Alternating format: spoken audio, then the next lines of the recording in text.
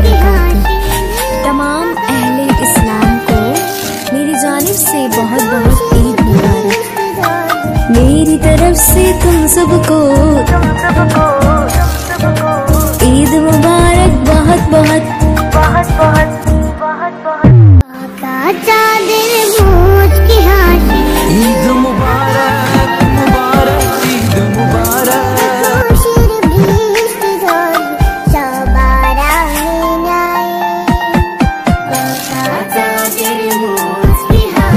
আসসালামু আলাইকুম, প্রিয় এভরিওয়ান। প্রতি বছরের ন্যায় এবছরেও শাহিদ জোলদার ইউটিউব চ্যানেলের পক্ষ থেকে জানাই মোবারক আমার তরফ থেকে রইল আন্তরিক ভালোবাসা ও অভিনন্দন।